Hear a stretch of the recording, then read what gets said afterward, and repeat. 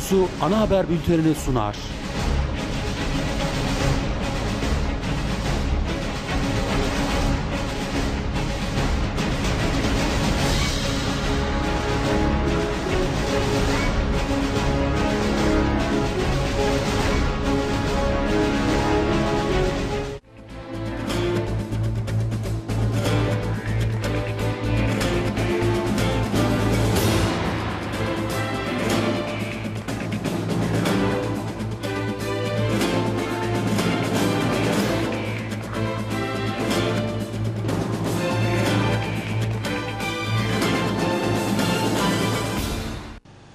Mercan TV Ana Haber Bülteni'ne hoş geldiniz. Günün ve gündemin önemli başlıklarıyla yine sizlerle birlikteyiz değerli izleyiciler. Bugün 28 Şubat yani o hain darbe, darbenin yıl dönümü. AK Parti Adıyaman İl Başkanlığı da 28 Şubat manşetli bir sergi açtı. Sergi halkın e, yoğun ilgisiyle karşılaştı.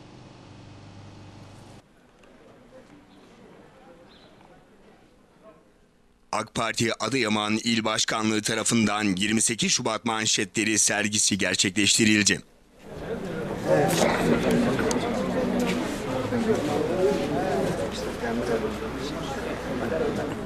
Sergiye katılan katılımcılar sergiyi gezerek sergide yer alan 28 Şubat'la ilgili gazete manşetlerini tek tek inceledi.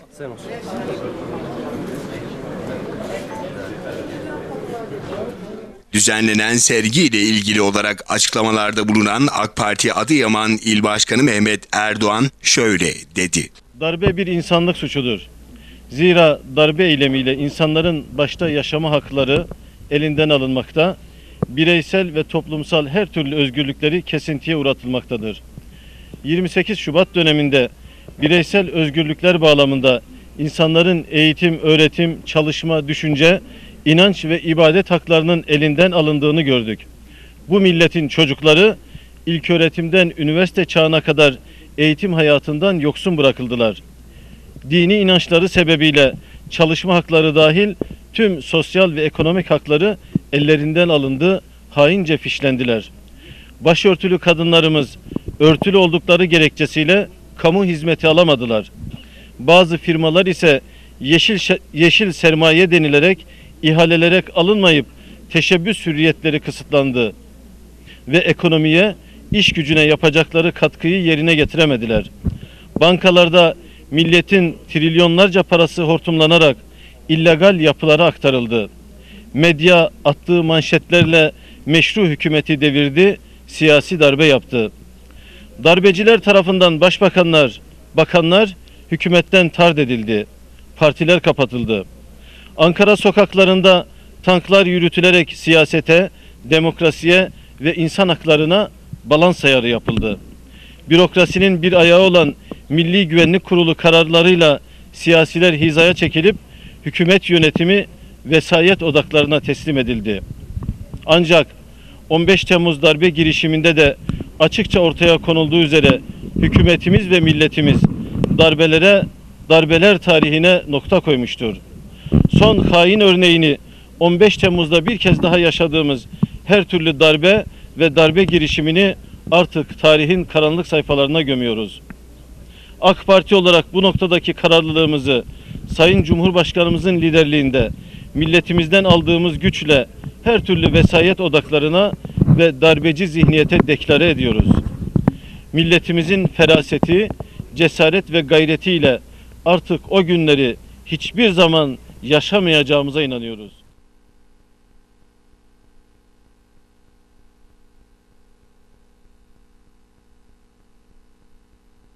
AK Parti Adıyaman Milletvekili İbrahim Halil Fırat da 28 Şubat dolayısıyla bir yazılı açıklama yaptı.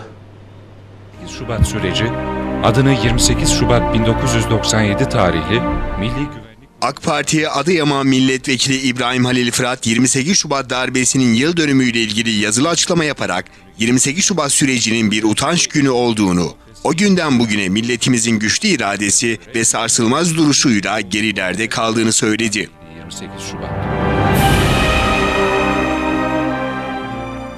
Fırat açıklamasında şu ifadelere yer verdi. Milletimizin öz kimliği, İslam'ı ve Müslümanlığı ilelebet Anadolu topraklarında silmek olan 28 Şubat postmodern darbesi siyasi tarihimize kara bir leke olarak düşmüştür. 28 Şubat demokratik yollarla seçilmiş siyasilerle birlikte milletimize yapılan zulümle her zaman hatırlanacaktır. O dönemin vesayet odaklarının bin yıl sürecek dediği 28 Şubat darbesi 3 Kasım 2002'de milletin iradesini ortaya koymasıyla sona ermiştir. Ancak o süreçte yapılan zulümler bin yıl geçse de unutulmayacaktır. Rabbim bir daha aziz milletimize 28 Şubat'ın karanlık yüzünü göstermesin. AK Parti iktidarıyla birlikte 28 Şubat'ın tüm izleri silinmiştir. Ülkemiz demokrasisini 28 Şubat süreci gibi dönülmez bir kavşağa sokan AK Parti hükümetimize olan teveccüh ve başarı milletimizin vesayet odaklarına ve destekçilerine verdiği en büyük cevaptır. Milletimiz 15 Temmuz'da olduğu gibi bu birlik ve beraberlik içerisinde olduğu sürece topraklarımız üzerinde karanlık planlar yapan şer odakları kirli oyunlarını asla hayata geçiremeyecektir. 15 Temmuz'da olduğu gibi bundan sonra da her zaman demokrasiye, insan haklarına, millete, devlete, vatana sahip çıkmaya devam edeceğiz. Bu vesileyle 28 Şubat darbesinin tüm mağdurlarını anıyor, vefat edenlere Allah'tan rahmet diliyor, hayatta kalanlara da uzun ve sağlıklı ömürler diliyorum.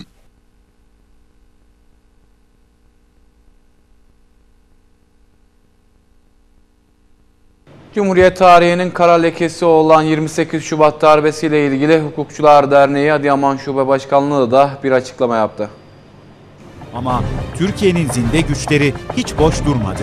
Başbakan Profesör Postmodern darbe olarak nitelendirilen 28 Şubat 1997'de Milli Güvenlik Kurulu toplantısının üzerinden 21 yıl geçti.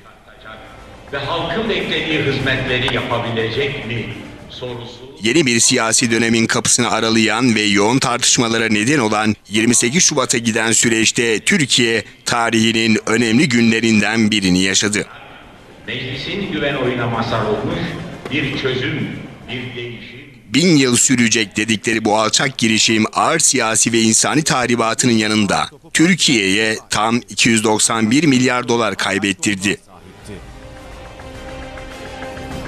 huzur içerisinde Hukukçular Derneği Adıyaman İl Temsilcisi Avukat Ahmet Işık 28 Şubat ve diğer darbe ve darbe girişimlerinin hukuksuz olduğunu dile getirdi. 28 Şubat 1997 tarihi aslında yapılan askeri müdahale postmodern darbe falan da değildir. Bildiğimiz darbedir. Fakat bu yapılan darbe fiziki bir darbe olmayıp zihinlere tamamen hem sosyolojik hem psikolojik bir müdahale şeklinde olmuştur. Ve o dönemde ek karar adı altında Milli Güvenlik Kurulu e, yaklaşık 21 madde yayınlamış. Bu 21 madde içerisinde e, birçok sıkıntıyı barındıran maddeler yer almıştır. 28 Şubat 1997 açıkça e, o zamanın Refah Yol hükümeti ve Profesör Doktor Necmettin Erbakan hocaya karşı e, yapılmış bir darbedir. E, Bu darbe kapsamında İmam Hatiplerin en dikkat çeken maddelerden e, birkaç tanesi. İmam Hatiplerin önü kesilmiş. Ben de bir İmam Hatip mezunu olarak 1996 yılında biz İmam Hatip Lisesi'nden mezun olduk. O tarihlerde kasayı problemi getirilmiş. Kesintisiz eğitim adı altında 8 yıllık bir eğitim başlatılmış. Başörtüler hem liselere hem üniversitelere alınmamış ve e, en önemlisi de hükümet e, yasal yollar adı altında devrilmiştir. Bunlar tamamen hukuksuzdur. Bu bir zulümdür, zalimcedir. E, tarihimizde zaten Türkiye tarihinde her 20 yılda bir ya darbe yapılmış ya ya darbeye teşebbüs yapmış. 1960, 1982, 1997 ve 15 Temmuz 2016. Biz lanetliyoruz darbenin her türlüsüne, destek verene, yanına duranı lanetliyoruz. Ee, biz hukukun ve demokrasinin yanındayız. 28 Şubat 1997 hem demokrasiye hem hukuka balans ayarı vermedir. Ee, Allah bu millete bir daha bu darbeleri göstermesin inşallah.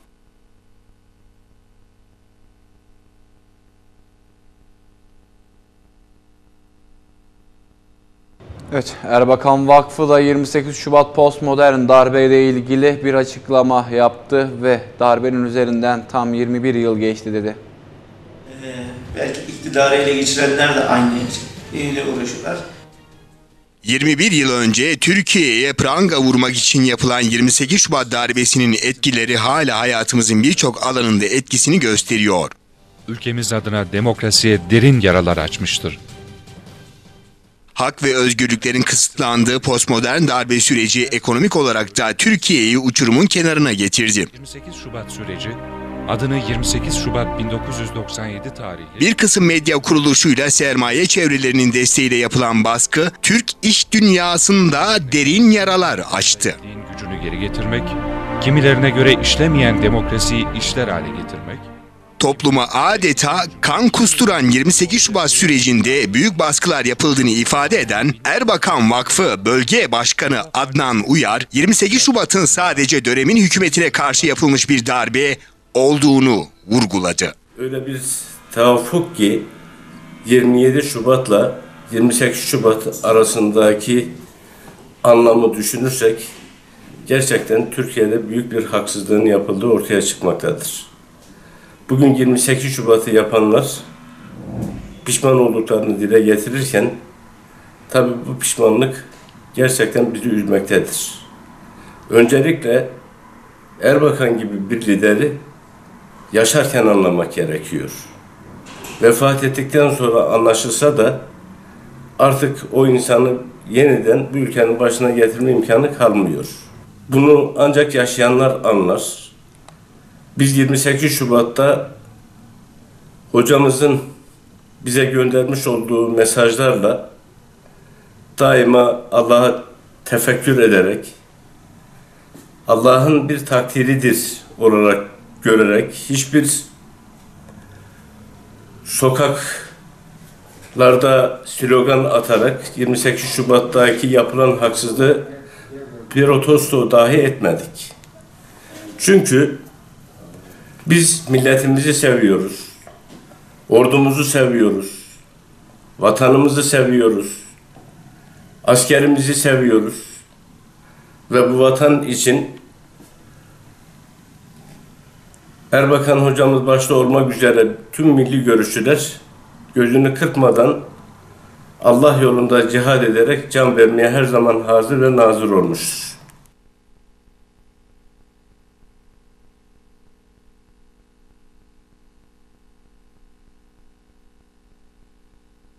Anadolu Gençlik Derneği Adıyaman Şube Başkanı eh, Şube Başkanlığı da şehitlik ve Erbakan konulu bir konferans düzenlendi, düzenledi. Düzenlenen konferansa halkın ilgisi yoğundu.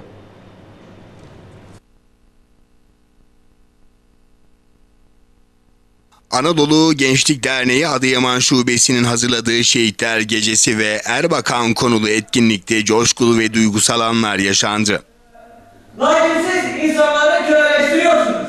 Bir yandan öleceksin. Hala konuşuyor musun? Türkiye Petrolleri Kültür Merkezi'nde Anadolu Gençlik Derneği tarafından gerçekleştirilen Şehitler Gecesi ve Erbakan konulu program öğrencilerin hazırlamış olduğu etkinlikle başladı.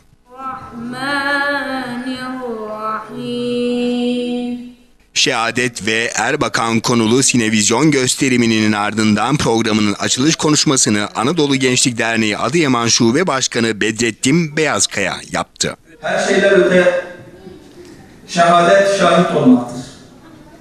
Şahit olanlar şehadeti hak ederler. Davasına, sevdasına şehadet edenler şahitliği hak ederler. Şehit olmak için önce davaya şahit olmak gerekir. Ve şehit olmak için yaşa bakılmaz. 5 yaşında da, 10 yaşında da, 20 yaşında da şehit olmak isteyene değil, arzu edene değil, hak edene verilen bir sevdadır, bir ödül. Geceye konuşmacı olarak katılan yazar Mustafa Kasadar, infak, ihlas, istikamet, iyi ahlak, insan, itaat, istişare ve istikrarı anlattı. Ümmetin izzeti, şerefi cihadla ve şehadet olmuştur. Ordularımız şehadet arzusuna koştuklarında dünyanın efendileri olmuştur. Kadisiye Savaşı öncesi biliyorsunuz İran'ın meşhur komutanı Rüstem'le görüşmeler yapan İslam orduları adına şube bir Mughire bunun Rüstem'in böyle altın tahta oturur, ipek halılar üzerinde serilmiş minderlerin olduğu ihtişam bir işte karargahına girdiğinde hem onları aşağılamak için o halıları mızrağıyla derebeye gidiyor hem de onu İslam'a çağırıyor. Rüstem diyor ki size ne oluyor? Siz daha düne kadar açtınız ve bizle bırakın savaşmayı bunu aklınızdan geçiremezdiniz. Karnınızı doyurmak için buğday dilenmeye gelirdiniz. Ne oldu size? Nereden bu cesaret? Yani oyun mu yapıyorsunuz daha fazla zahire koparmak için? Eğer niyetiniz buysa diyor, sizin kanlarınızla, pis kanlarınızla diyor, topraklarımızı kirletmek istemiyoruz. Size götürebileceğiniz kadar zahire verelim, çekin gidin. Bu işten vazgeçin.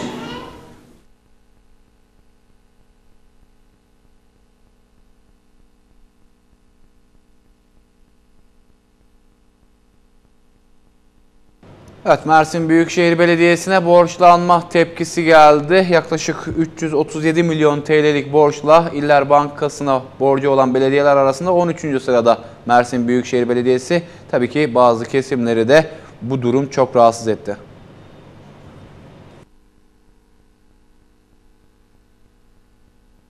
Mersin Büyükşehir Belediyesi İller Bankası'na borçlu belediyeler sıralamasında 337 milyon TL ile 13. olarak yer aldı. Başkan Kocamaz'ın göreve geldiği günden bu yana aldığı borçlanma yetkisi yaklaşık 800 milyon TL'yi bulurken borçlanmayla hizmet oranının ters orantılı olması eleştirilere neden oldu. CHP'li meclis üyesi Akın Güneş yaptığı değerlendirmede bütçe görüşmelerinde borçlanmaya parti olarak karşı çıktıklarını anımsatarak yapılan işlerle borçlanma ters orantılı. Borçlanmanın karşılığında bize ne yapacaklarını göstermiyorlar. Borçlanmak belediyecilikte kötü bir şey değildir. Karşılığını görürseniz iyi bir şeydir. Biz borçlanmanın karşılığını istedik ama hala göstermediler, dedi.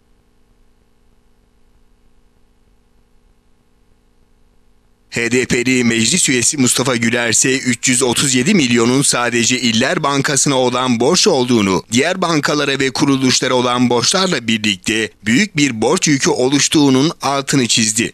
Güler bu geleceği harcama olayıdır. Evet önemli bir proje yapılıyorsa borçlanma doğaldır ama borçlanılan paranın nerede kullanıldığı önemli. Harcama yerlerine bakmak lazım. Belediyenin bütçe harcamaları her zaman yerinde değil. Bazı yatırımların öncelik sırası kaymış durumda diye konuştu.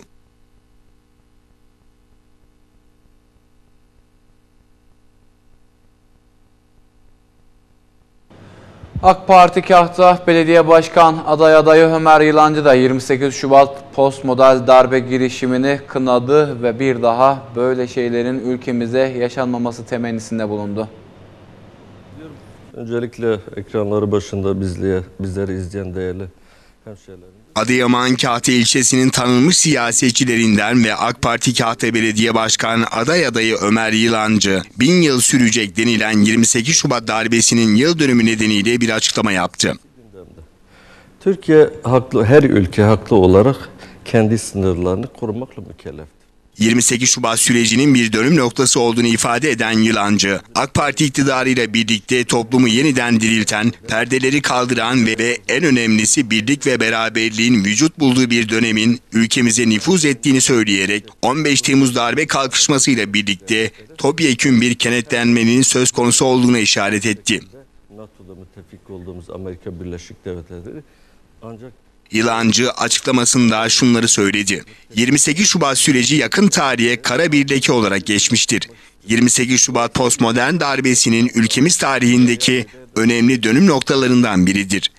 28 Şubat süreci sadece o dönemin hükümetine karşı yapılmış bir darbe olmanın yanı sıra şanlı tarihe ve medeniyete sahip olan milletimize karşı yapılan alçak bir girişimdir. Batı Çalışma Grubu adı altında milyonlarca kişinin fişlendiği, özellikle dindar kesime yönelik yapılan zulümlerle her zaman kötü bir hatıra olarak hafızalarımıza kazınacak. 28 Şubat sürecinde çorbacıların dahi fişlendiği, ikna odalarıyla başörtülü öğrencilerimize psikolojik baskıların yapıldığı, üniversite kapılarında polis zoruyla başlarının açıldığı kara bir süreçti.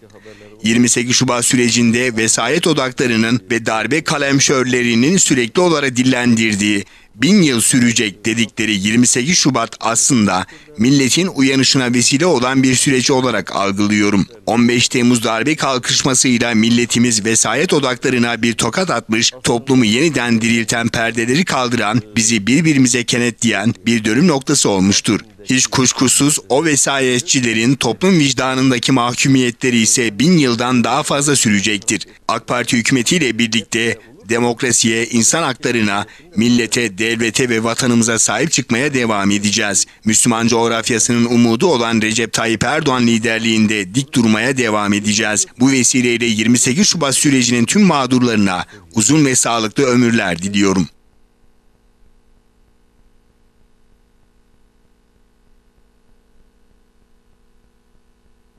Evet, ülkemizdeki şeker fabrikalarının özelleştirilmesine tepkiler çığ gibi büyüyor. Cumhuriyet Halk Partisi Genel Başkan Yardımcısı Veli Ağbaba da beraberindeki heyetle birlikte Malatya'daki şeker fabrikasını ziyaret etti. Partim adına saygılarımı, sevgilerimi sunuyorum. Öncelikle bu olay çıkınca Şeker fabrikalarının özelleştirilmesine karşı kurulan ve CHP Genel Başkan Yardımcısı Veli Ağbaba'nın koordinasyonunu yürüttüğü komisyon Malatya Şeker Fabrikası'nı ziyaret etti. Bütün şeker fabrikalarını geziyoruz. İlk olarak 1926'da kurulan Alpurlu Şeker Fabrikası'nda Ziyaretin ardından fabrikanın önüne gelen CHP milletvekilleri ve işçiler şeker fabrikalarının özelleştirilmesine tepki gösterdi. Başkanımız da belirtti, sendika başkanımız Sayın Nuri Murat da belirtti. Burada bir açıklama yapan Veli Ağbaba, CHP Genel Başkanı Kemal Kılıçdaroğlu'nun talimatıyla şeker fabrikalarının satılmaması için çalıştıklarını belirtti. Öncelikle bu olay çıkınca Genel Başkanımız Sayın Kemal Kılıçdaroğlu'nun talimatıyla 20 milletvekiline oluşan bir heyetle bu şeker fabrikası satılmaması için uğraş vermeye başladık. Hem Türkiye Büyük Millet Meclisi'nde hem de bütün şeker fabrikalarını geziyoruz. İlk olarak 1926'da kurulan Alpurlu Şeker Fabrikası'nı arkadaşlarımızla birlikte ziyaret ettik. Daha sonra Afyon, Uşak e, şeker fabrikaları bugün Malatya ve Elbistan'da olacağız. Burası ikinci grupta gözüküyor. 2012'de daha önce bir karar alınmıştı e, şeker fabrikaları satışıyla hem Şeker İş Sendikası hem diğer kuruluşların baskısıyla geri adım atılmıştı. Şimdi tekrar e, bu satışlar gündemde. Değerli arkadaşlar, öncelikle yerli ve milli tartışmaların olduğu bu günlerde bir şeyin altını sert şekilde çizmemiz gerekiyor. Türkiye'de şeker fabrikalarından daha yerli, daha milli bir kuruluş yoktur bulamazsınız. Her anlamda yerli. Çalıştırdığı işçisiyle yerli, ürettirdiği pancayla, ürünüyle yerli, Türk üreticisi üretiyor. Fabrikasıyla, kamyonuyla, her şeyle yerli bir fabrika. Ayrıca şeker fabrikası sadece şeker fabrikasında çalışan 10 bine yakın işçiden ibaret olan bir yer değil. Şeker fabrikası sadece burada çalışan işçiler demek değil.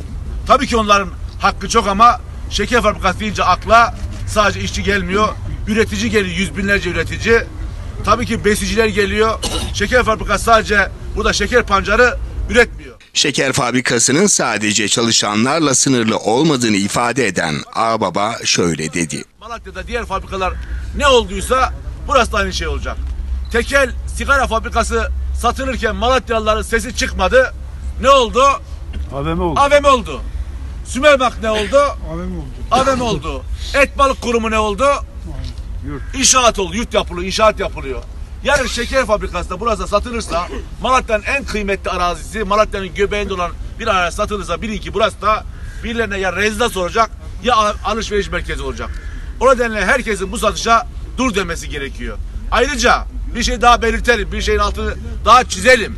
Değerli arkadaşlar, bu satış talebi kimden geldi? Bu satış talebi şeker fabrikasındaki işçilerden mi geldi? Bu talep pancar üreticilerinden mi geldi? Bu talep kamyoncudan mı geldi? Kimden geldi? Bu talep değerli arkadaşlar Türkiye'de uzunca yıllardan beri lobi yapan kurulan Kargil gibi ABD firmalarından geldi. O nedenle bu satış talebi bizden değil ABD'den geldi. Geçtiğimiz günlerde Cumhurbaşkanı'yla ABD Dışişleri Bakanı Tillerson bir görüşme yaptı. İlk kez tarihimizde Cumhurbaşkanı'yla bir Dışişleri Bakanı konuşurken bir tercüman, yeminli tercüman, stenograf kullanılmadı. Dışişleri Bakanı tercüman olarak görev yaptı. Buradan iddiayla söylüyorum. O görüşmede gündem ne Afrin'di, ne PYD'ydi, ne YPG'ydi, ne başka bir konuydu. Gündem Türkiye'deki şeker fabrikalarının satışıydı. Kargil'in talepleri doğrultusunda şeker fabrikaların satışı değerli arkadaşlar.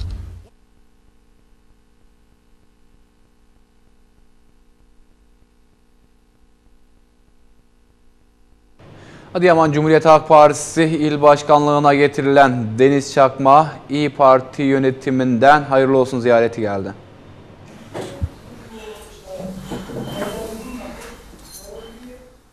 CHP İl Başkanlığı görevine getirilen Deniz Çakma ve yönetimine İyi Parti İl ve Merkez İlçe Yönetimi tarafından hayırlı olsun ziyareti gerçekleşti. Ziyarette siyasilerin samimi görüntüleri kameralara yansıdı. İyi Parti İl Başkanı Kenan Doğan yapmış olduğu açıklamada Deniz Çakma ve yönetimine başarılar diledi. Cumhuriyet Halk Partisi'ndeki arkadaşlarımızı bir yorucu ilk kongresi sonrasındaki yorgunluklarını attıktan sonra bir tebrik etmeye geldik. Hayırlı olsun dileklerimize vurmaya geldik. Nihayetinde ülkenin e, durum ortada. Dünyanın en klasik lafıdır. Güçlü muhalefetin olmadığı yerlerde iktidarlar diktatörlüğe gider. Bu sebepten dolayı da ki mutlak güçlü muhalefet partileri olmalıdır. Demokrasinin gereği iktidarı her zaman zorlamalıdır. Alternatif olarak bulunduklarını hissettirmelidirler. Cumhuriyet Halk Partisi de bugüne kadar bu konuda elinden geleni, üstüne düşeni yapmış durumdadır. Ama bizim e, bu anlamdaki ziyaretimiz hem onları tebrik etmek hem bundan sonraki çalışmalarına başarılar dilemek üzere oldu. Bir nezaket ziyareti. Kenan Doğan'ın partilileriyle birlikte yapmış olduğu ziyarette açıklamada bulunan CHP İl Başkanı Deniz Çakmak şöyle dedi. Partinin il başkanı ve ilçe başkanı ve yönetiminden dolayı bu nazik ziyaretlerinden dolayı teşekkür ederiz. Tabii ki biz de e, bu dönem hep birlikte el ele kol kola Adıyaman'ımız için en iyi şekilde muhalefet yapacağımıza inanıyoruz. Sonuçta amaç Adıyaman, amaç vatansa biz de vatanımıza ve Adıyaman'ımıza sahip çıkacağız.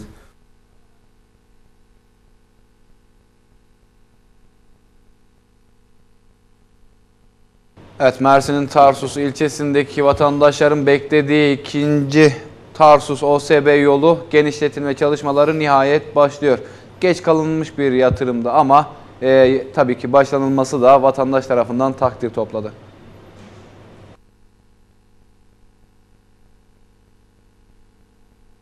Yıllardır otoban bağlantı yolunun yapılmasını bekleyen Mersin Tarsus Organize Sanayi Bölgesi'nin genişleme alanı olan ikinci bölgesinde yer alan yolun ihtiyaca yetmemesi nedeniyle gündeme gelen genişletme çalışmasına Büyükşehir Belediye Meclisi'nden sonunda onay çıktı. Büyükşehir Belediye Meclisi'nin Şubat ayı ikinci birleşiminde gündeme gelen konuyla ilgili öncelikle İmar ve Bayındırlık Komisyonu, Çevre ve Sağlık Komisyonu ile Ulaşım Komisyonlarının görüşü ele alındı. Komisyonların Akdeniz ilçesi 2. Organize Sanayi Bölgesi ile Mersin Büyükşehir Belediyesi katı atık değerlendirme, bertaraf ve depolama tesisleri yolu güzergahına ilişkin 1 bölü 1000 ölçekli uygulama imar planı değişikliği talebine onay vermesiyle yolun genişletilmesi talebi oy birliğiyle kabul edildi.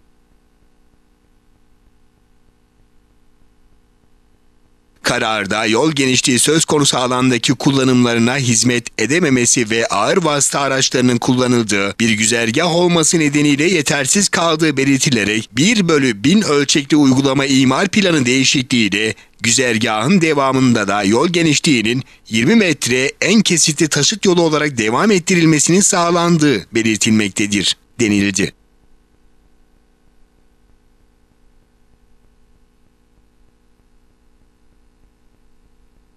Değerli izleyiciler ana haber bültenimize bir konuğumuzla devam ediyoruz. Sayın Mirza Göktemir bizlerle birlikte Şehir Akademi e, Şehir Akademi Çalışması Programı e, koordinatörü kendisi. Şehir Akademisi neler yapacak? E, tabii ki bunları konuşacağız. Özellikle Adıyaman'da çok güzel projelere imza atılacağı gözleniliyor. Ben öncelikle konuğuma hoş geldiniz demek istiyorum. Efendim hoş geldiniz.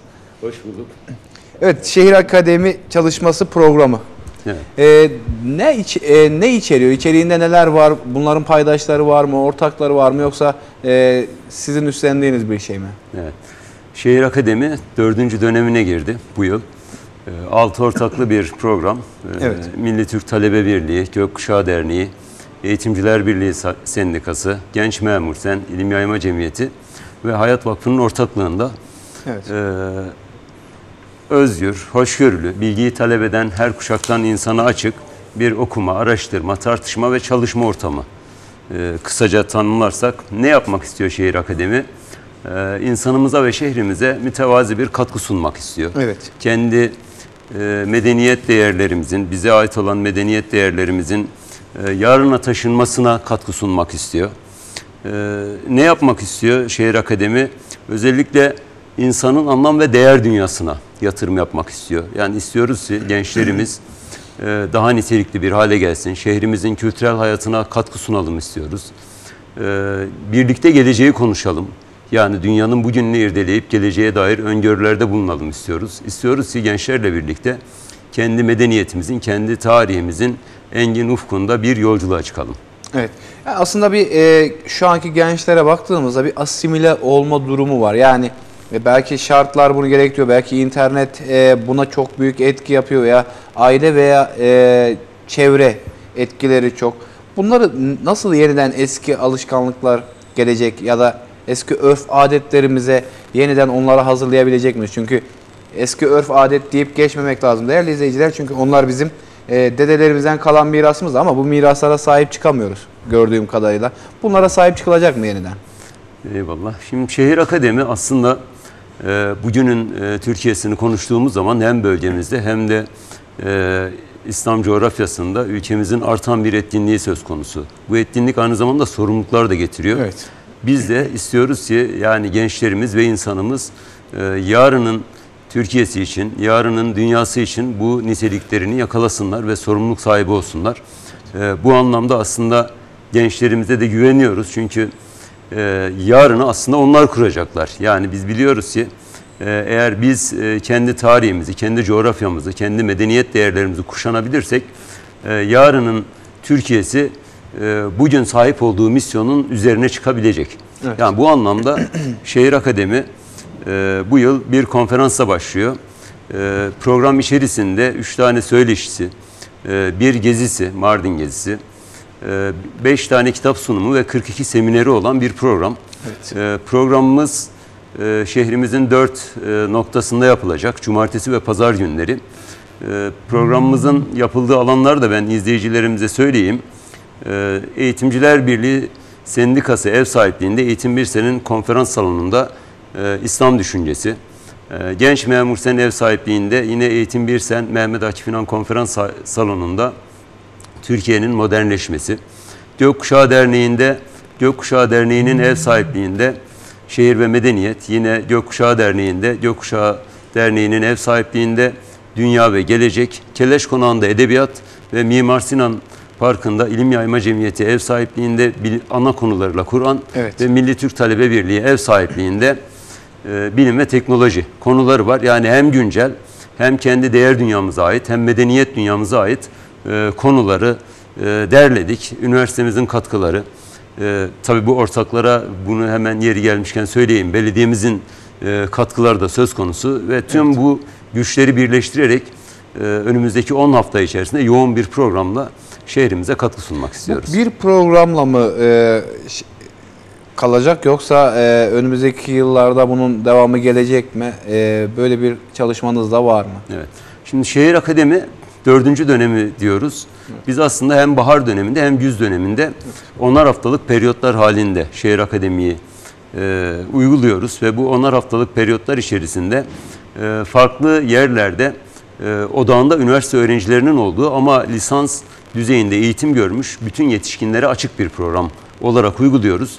Bu dördüncü dönemi daha çok e, alan okumaları şeklinde yer alıyor. Bundan sonraki dönemde amacımız şehir akademinin bir üretime dönüşmesi. Yani biz şehrimizle ilgili e, belki burada saydığımız alanlarla ilgili nitelikli e, saha çalışmaları, makaleler, kitaplar, e, araştırmalar ortaya çıkarmak istiyoruz. Yani bu anlamda aslında e, başlangıçta 3 yıl olarak planlanmış ve ikinci yılını sürdüren ama akabinde de devam etmesi planlanan bir organizasyon. Evet. Peki yaş grubu var mı? Yani hitap edeceğiniz yaş grupları var mı? Yoksa e, herkes gelebilecek mi bu tür etkinliklere? Yani, gezme e, özellikle il dışı ziyaretler dediniz. Ondan sonra e, mesela verilen konferanslara belli bir yaş sınırı getirildi mi yoksa herkese açık bir şey mi? Yani yaş sınırımız yok. Bizim e, temel çıkış noktamız şu, bilgiyi talep eden her kuşaktan insana açık bir program. Evet. Burada e, sadece seviye olarak belki lisans düzeyinde sunumlar olacak. Ama onun dışında bütün katılımcılara açık. Eğer dilerlerse bizim Facebook ve Twitter hesaplarımızdan e, online olarak başvuruda bulunurlar. Başvurularımız şu an itibariyle devam ediyor. 4 Mart'ta sona erecek. E, 4 Mart'taki programla birlikte biz aslında start vermiş olacağız. O anlamda herkese açık. Cumartesi ve pazar günleri e, sosyal medyadan bizi takip edebilirlerse oradan kendilerine uygun, ilgi duyduğu alanlar çünkü e, oradaki paylaşımlarımızda hem alanların içerik konuları hem sunacak hocalarımız hem saatleri belirlenmiş durumda. E, başvuran herkesi alacağız. Yani e, herhangi bir e, şeye kapalı değil. E, ama e, yani üniversite öğrencileri ve yetişkinler odağında. Evet.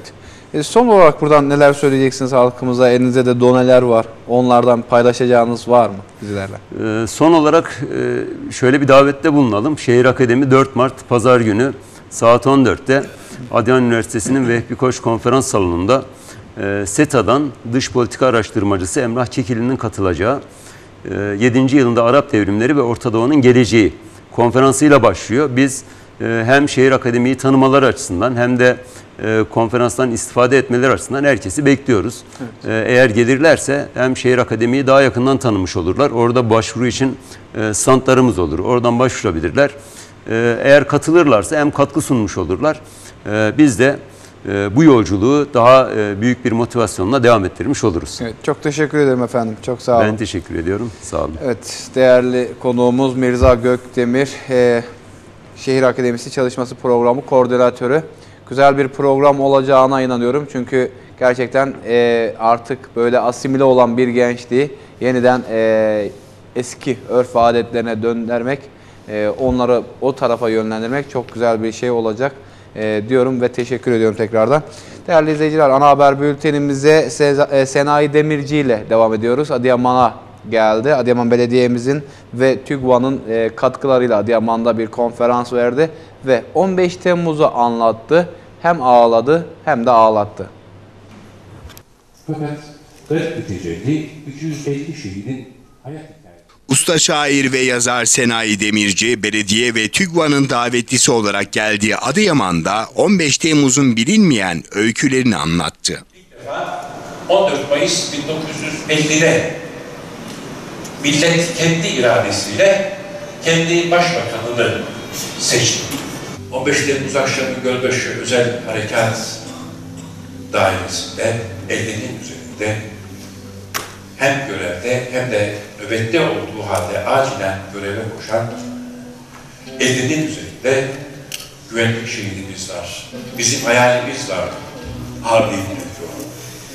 Biz bütün dünya şehirlerini gezecektik. Ama Halil İbrahim'e demek ki başka bir seyahat yazmış sahibi. Programın açılış konuşmasını yapan belediye başkanı Hüsrev Kutlu şunları kaydetti.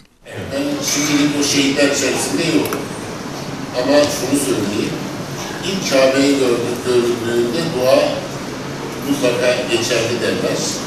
Ben e, Kabe'ye doğru yürürken babamla beraber baba dedim ne dua edeyim Kabe'yi görünce? Oğlum bilmiyorum dedi. Ben ilk Kabe'yi gördüğümde Ya Rabbim beni sorumsuz, sualsiz doğrudan cennetine koy diye dua ettim. Nasıl olacak baba dedim. Ki şehit olursan doğrudan cennete gidersin. Ben de o şekilde dua ettim. İnşallah Cenab-ı Allah bizlere de nasip eder. Ama 15 Temmuz'da Adıyaman'da şehit veremedik çünkü garnizon komutanım da burada. Burada askerle, polisle, Aleviyle, Sünniyle, Kürtle, Türk'le hep beraberdik. Bütün partiler beraberdik. Politiğimiz var, o da bizimle beraberdi. Allah'a şükür Adıyaman'da bir şehidimiz olmadı ama Adıyaman'da bu vatan için, bu bayrak için her biri ayrı ayrı canını vermekten bir bile tereddüt etmez. Etkinliğe katılan Adıyaman Valisi Nurullah Naci Kalkancı ise şunları kaydetti. yaşattığımız yerden unutmamamız için, hafızalarımıza kazanması için büyük bir emek sarf etmesiniz, gayret sarf etmesiniz. Sağ olun. Teşekkür ederim. Ben O ekip işte Konuşmaların ardından programa başlayan Senayi Demirci 15 Temmuz darbe girişimiyle ilgili bestelediği şiirleri seslendirdi. Üzülme. Üzülebiliyorsan bir kalbin var demektir. Kalpsizler üzülemezler ki. Ne mutlu sana ki üzülebiliyorsun. Dokunan var demekti kalbine. Ya dokunulmasaydı kalbine, ya hüznün gönül toprağını karmasına izin verilmeseydi. Demek ki sen gözden çıkarılmadın. Demek ki sen hala bir umut tarlasısın. Üzülme. Üzülüyorsan biri var ki cılız varlığını düştüğü çamurdan kaldırmak istiyor. Onun için dokunuyor kalbine. Kıymetini bil ki üzmeye değer görüyor seni. Üzümlerin kalbinin toprağını allak bullak ediyorsa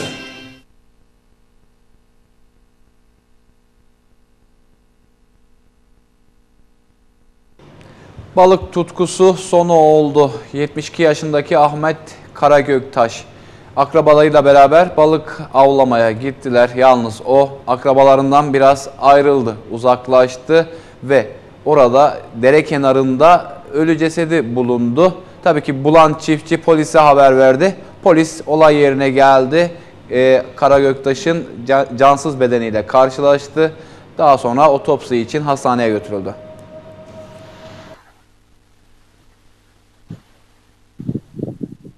Adıyaman'ın Gölbaşı ilçesinde balıkçılık yapan 72 yaşındaki adam su kanalı kenarında ölü bulundu.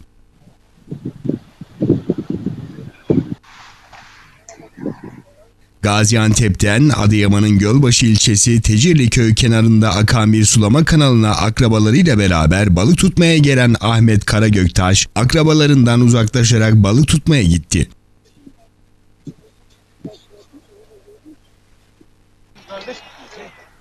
Bir süre sonra su kanalı kenarında hayatını kaybeden Kara Göktaş cansız bedenini fark eden bir çiftçi durumu polis ekiplerine bildirdi.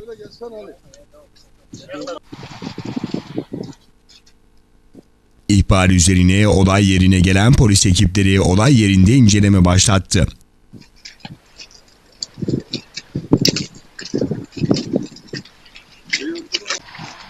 Kara Göktaş'ın cenazesi otopsi için Malatya Adli Tıp Kurumu'na gönderilirken olayla ilgili soruşturma başlatıldı.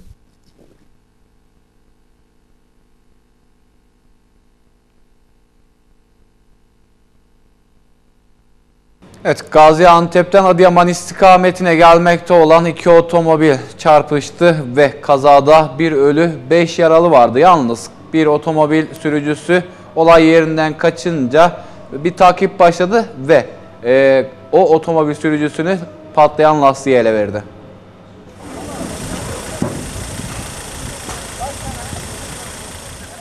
Gaziantep istikametinden Adıyaman istikametine gitmekte olan Hatice Kaya idaresindeki otomobil, önünde seyreden Talip Demir idaresindeki otomobili solladığı esnada Talip Demir idaresindeki otomobile yandan çarptı.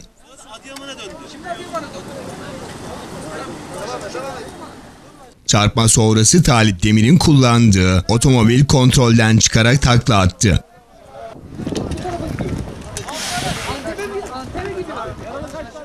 Yaşanan kazada otomobil sürücüsü Talip Demir'le otomobilde bulunan Adıyaman Terziciler Odası Başkanı Osman Demir, Sevgi Demir, Melik İskender Çakır, Nazife Güneş yaralanırken 55 yaşındaki Neriman ise olay yerinde hayatını kaybetti.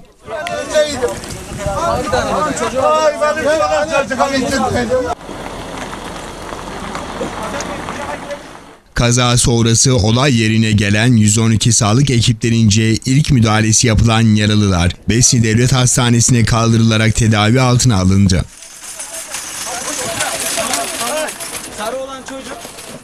Olay yerinde hayatını kaybeden Neriman Diş'in cenazesi Cumhuriyet Savcısının yaptığı incelemelerin ardından Besni Devlet Hastanesi morguna kaldırıldı.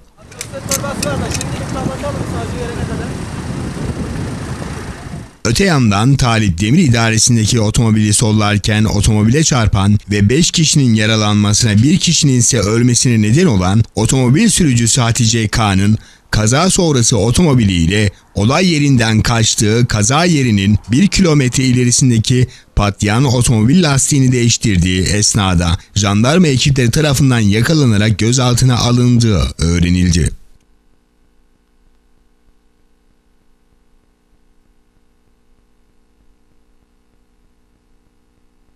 Evet bu haberle de bize ayrılan sürenin sonuna geldik. Yayında ve yapımda emeği geçen bütün arkadaşlarım adına mutlu bir hafta diliyorum. Hoşçakalın.